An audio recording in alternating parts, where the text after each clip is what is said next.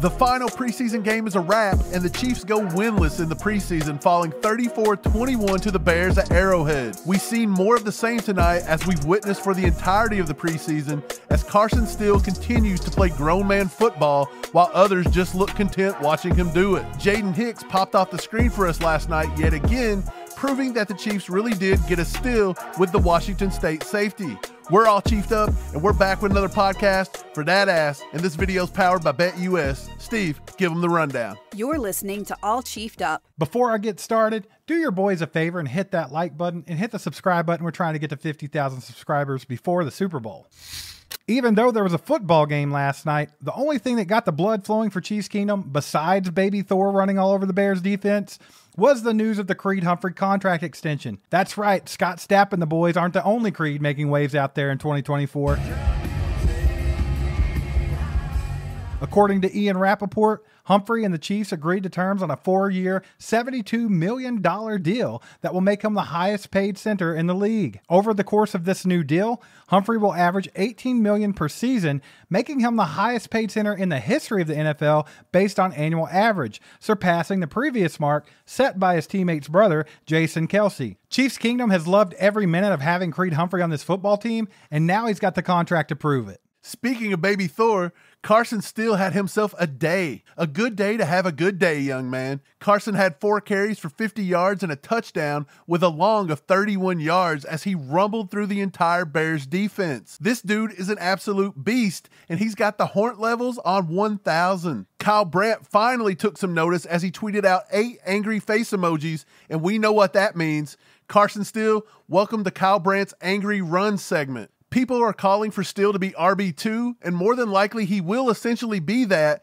as we think Clyde will run the Jerick McKinnon role as more of a pass catcher this year. Props to Carson Steele on a big preseason. You've made Crocky J a proud son. First up in the wide receiver saga, we seen the Chiefs announce that Skyy Moore would not play a single snap on offense, pretty much solidifying his roster spot, and the Skyy Moore Haters Club is in complete shambles right now. He did, however, come in briefly for a nice kickoff return, which honestly fits what he did in college, making people miss in tight spaces, as he led the NCAA in missed tackles forced his senior season. The wide receivers that got the most reps in the first few series were Justin Ross, Mecole Hardman, and Kadarius Toney. Some in the kingdom think that Toney and these wide receivers didn't get a fair shake. Mark Gunnels wrote on X. I think it's totally unfair for the receivers fighting for a roster spot to have to play with this level of QB play. Yeah, I wouldn't say. I mean, we, we went through last year with him, so we we kind of know what he is. He's a talented kid, and uh, um, you know he's in a battle to make the team and all that bit. But he, he's a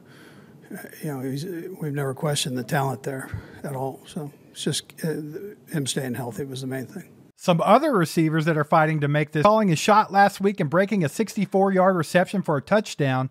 Powell had two catches for 16 yards, scored his second touchdown of the preseason, and quite possibly caught an attempted murder charge as he tried to twist Tyler Scott's head off of his shoulders on a kickoff return. The instant regret was hilarious, though. Louis Rees Zammit got a few chances to showcase how he's progressed so far. He had four carries for 21 ball field. He still might have passed Deneric Prince on the depth chart after his abysmal performance of three carries for minus one yard. Hell, at this point, even you, yeah, you watching right now, might have actually passed Deneric Prince on the freaking depth chart as well. Steve, let's start with Creed Humphrey's contract extension. What did you think about it? Let's go, baby. Creed's going to be a longtime chief, let's and it's go. well freaking deserved. You were talking about that little bit of money they had in the salary cap, about $15 million. And you said they're not going to go try to sign somebody outside of the locker room. They're right. going to go ahead and start trying to lock up some of these guys. They have to sign at the end of the year because there's a lot of mouths to feed. Creed Humphrey was first in line. He's been extended. I'm excited about it. Now they can look on to Nick Bolton and Trey Smith. Yeah, look, Creed is a good locker room guy. He doesn't get in trouble. He's smart. He had a little bit of snap issue happen last year, but it looks like he's even changing that. There was some stuff out on X showing that he was holding the ball differently and things. I think it's going to be completely fine. I'm glad we got him back in KC. We got him here for a longer portion of his career. I hope he finishes his entire career here, and I hope we're still winning Super Bowls the entire time Creed Humphrey is extended for. But let's move on to the wide receivers, Steve. Skyy Moore did not play a single snap on the offense. I hate to say I told you so. Been trying to tell everybody Skyy Moore ain't going nowhere. He's not going to light the world on fire, Mike, but he does the little things right that Andy Reid likes. He's also just on his third year of his rookie contract. He was a second round draft pick. They've invested a little bit in this kid, and I think they see something in him if they can use him properly, and by properly, I mean get him the ball quick, get him the ball in space, let him work, let him create yards after the catch. He makes people miss. That's what he does. I think he can be pretty successful this season. Right. Look, he's got to turn it on this year, though. I'm tired of talking about it. I'm tired of waiting on him. Third year is the charm. Skyy's got to do better than one catch for eight yards, two catches for 16 yards. That's not even Applebee's. Two for twenty last year. He's he's not even showing up to the MVS show here. Kadarius Toney, Steve, make himself part of this fifty-three man roster. I think that what Kadarius Toney was able to do in his first half season with the Chiefs when they won the Super Bowl against the Eagles, I think that the coaches still remember that and they know what he can offer this team. He had a down year last year and they just want some damn consistency out of him, Mike. Just be healthy, just be available and then make good football plays. Don't make dumb penalties. That's what's been right. hurting them too. But I think his upside is so high and he's on his contract year, they might be willing to gamble and roll the dice on it this year, man. I've been saying for a long time, I wouldn't be surprised if you don't see the usual suspects in that wide receiver room. A lot of people talk about who's going to be the wide receivers outside of the top four, which we're calling Xavier Worthy, Hollywood Brown, Rashee Rice, and Justin Watson. And I've said all along, do not be surprised and do not cry yourselves to sleep at night if the Chiefs come out and say they're going to take seven, and the last three being Mecole Hardman, Kadarius Toney, and Skyy Moore. Yeah, you're probably right here. I think Justin Ross might be on the outside looking in. He always has a good offseason. He has a good preseason. This guy's the preseason champ. He's undefeated. And I would love to see him make the team. I just don't know how they're going to get him on, especially if they do take Kadarius. It's Justin Ross. And it depends on how they approach this situation. Do you want to put him on the team because you don't want another team to come get him and beat you to death with him? Because there's some AFC contenders that would love to have Justin Ross in their wide receiver room. Yeah. A, the Bengals, B, the Bills, Chargers. There's lots of other teams that could take that kid and use him effectively. And do the Chiefs think about that? Like, do we want to give him to a competitor? I don't know if that'll play a part in it or not, Mike. I would like to see Justin Ross make this team and maybe let Mecole Hardman move on, but we'll see how it goes. Steve, the running back room, that's a big subject right now. And last night we seen Carson Steele absolutely tear it up. He was throwing the stiff arms. He was chunking off yardage. He got his second touchdown of the preseason. Crocky J, our boy from Ball State, from UCLA, the UDFA, doing the Lord's work out there for the Chiefs, Steve. Is he running back two over Clyde Edwards Helaire? What do you think? Honestly, I don't think it really matters. Now, what the fans are going to say is yes, he's running back two. Clyde doesn't offer enough. He misses too much with his PTSD or his sickness or whatever it might be. They're just going to say he's not reliable, right? That's what they've yep. been saying about Clyde since year two. However, you mentioned this on a live stream last night. I don't think it really matters outside of Isaiah Pacheco because the rest is going to be situational.